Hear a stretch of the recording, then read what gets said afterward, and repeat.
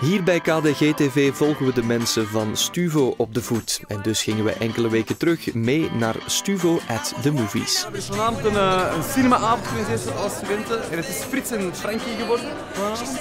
Um, dus nu zijn er een zestigtal studenten die, uh, die vanavond naar de cinema komen, dankzij Stuvo aan de helft van de prijs. Uh, ik denk dat het een grappige film gaat worden. En typische Belgische humor, hè. Vlaamse humor. Veel meer uh, actie en ook ja, grappige scènes dat je denkt van hoe. Money don't grow on trees. I got bills to pay, I got mouths to